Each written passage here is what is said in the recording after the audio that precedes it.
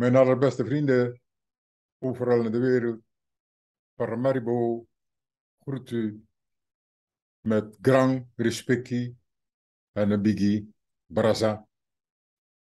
Lieve vrienden, het is vandaag 15 januari 2023, een zondag. En Suriname treurt om de vele dingen die niet goed gaan. En tegelijkertijd wensen we sterkte aan de families die het verlies moeten dragen van hun geliefden.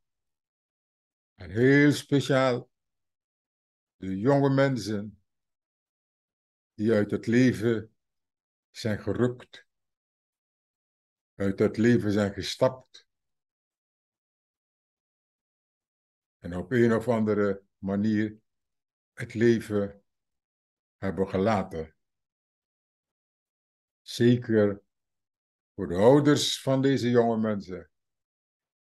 Kracht, lobby, spikkie voor u allen. Er wordt gezegd, na Peking muberi mama, ano mama muberi Peking. En precies dat is op dit ogenblik gaande in Suriname. En dat doet verschrikkelijk pijn.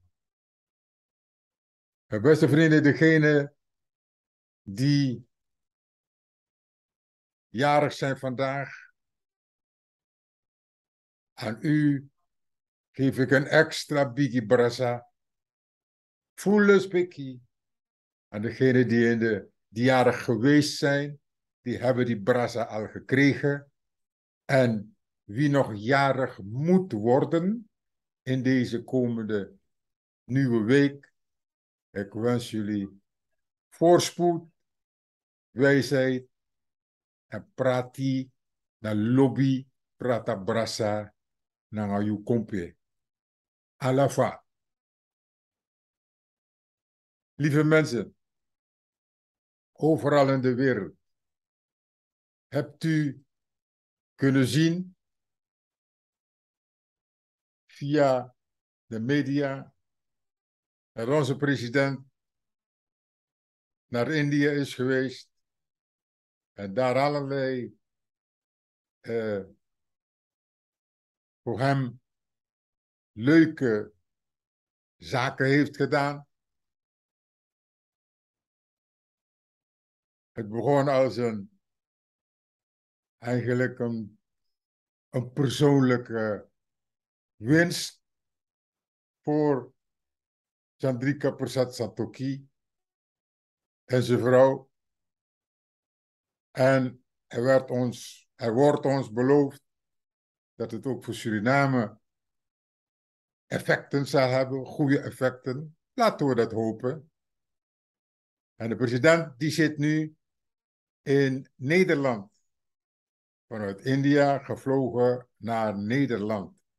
En daaraan gekomen uh, merken wij dat de president van Suriname, Chandrika Persat Santokhi, een welkom heeft gekregen van de diaspora, de VHP-diaspora in Nederland. En op dat feestje dat u hier ziet op deze video, wordt de president verwelkomd door een geweldige, prachtige klompendans van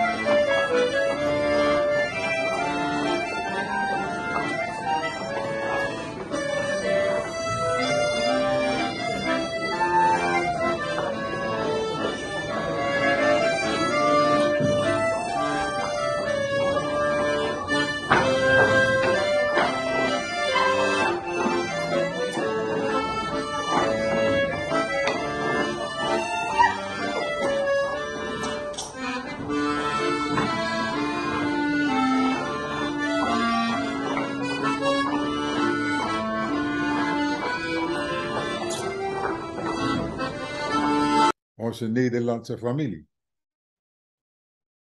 Beste vrienden, ik heb met plezier gekeken naar de klompendans. U weet, wij omarmen alle culturen. En we zien ook de schoonheid in van deze culturen. En, en ja, het is natuurlijk prachtig om dat te zien. President van Suriname wordt binnengehaald met klompendans. Prachtig. Maar beste vriendin, er zit ook iets anders achter. Je zou verwachten dat de president van Suriname door met Surinaamse muziek verwelkomd zou worden in Nederland. Nee. De entourage in Nederland van de president, even niet over de entourage van Suriname, maar de, het gevolg en de diaspora van Nederland, die koos voor de president, en dat heeft hij niet zomaar gedaan, voor klompendans. Wat zegt dat ons? Beste vrienden, alles wat je doet zegt iets, hè? Maar wat zegt dat ons? Dat zegt eigenlijk dat de president houdt zielsveel van India. Dat moeten we de man nageven. Je ziet hem helemaal opgaan tussen de Indiërs. Hij wordt helemaal verlegen van blijheid. Ja. Je ziet hem opleven. De man houdt zielsveel van India. En dat mag. Daar komt hij in Nederland. En dan zie je dat hij verwelkomd wordt met pure Nederlandse cultuur. En dat vertelt ons, het is niet zomaar voor gekozen. Daar is niet zomaar voor gekozen. Dat vertelt ons dat de president zielsveel van Nederland houdt. Dat mag. Zeker weten. En ik kan het zeggen, want ik heb er toch een kleine 30 jaar gewoond, minstens. Dus, misabi. Wat niet gebeurt, en dat vond ik een beetje lastig, is dat we niks Surinaams erbij horen. Is het geknipt uit de video? Was het er niet?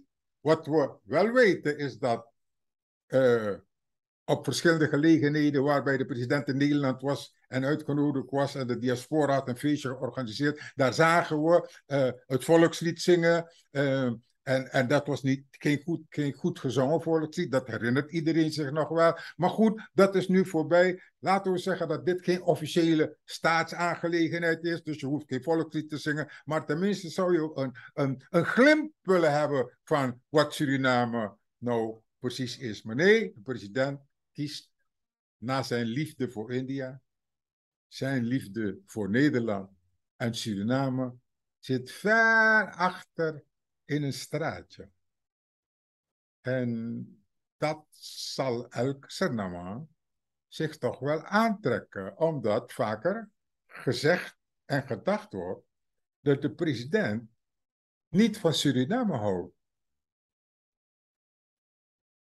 Letterlijk wordt er gezegd, de president houdt alleen maar van de mensen die op hem lijken. Die wij gladiolen genoemd hebben. De president houdt van India, hij houdt van de gladiolen en hij houdt van Nederland. Suriname, dat is eigenlijk een noodzakelijk kwaad. Ik zeg u, met de klompenars op zichzelf is er niks mis mee. Niks mis. Alleen met het gebrek aan liefde voor Suriname, dat is iets dat ons steekt. En daarom zeg ik tegen u, deze president kan doen wat hij wil, Maar alleen door een wonder zal hij terugkomen als president van Suriname. Want hij heeft zich niet geliefd gemaakt. Alleen bij het andere deel van Suriname. Maar wij bestaan uit één geheel. Beste vrienden, de verscheidenheid in eenheid moet vorm krijgen, maar dat zal het niet zijn bij deze president. Want hij gaat voor eenheid en verscheidenheid, waardoor die eenheid niet zo belangrijk is, maar die verscheidenheid, daar gaat het om. En dat is wat de man etaleert elke keer als hij de kans krijgt. Dat is de vrienden Paramaribo groet u met een Grontapu, Biggie, Brassa en een, en een Prisiri en een Lispeki. Davy rustig. Blijf vrolijk. Blijf glimlachen. En laat je niet van de wijs brengen. Suriname, unite. It's the only way we are going to win the fight. Paramaribo groet u. Tot later.